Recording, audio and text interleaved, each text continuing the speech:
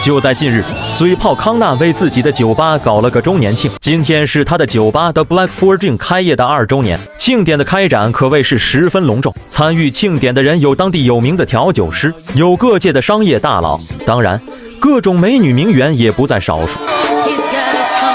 各种吃的喝的应有尽有，不能说有多高调，只能说是相当隆重。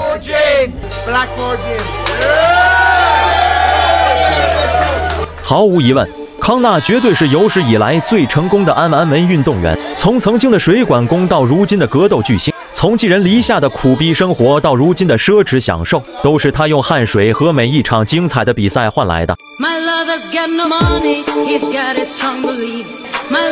最关键的是，他有一个简单粗暴的商业思维，他知道如何快速的让人们记住他这个人，这也是他致富的关键。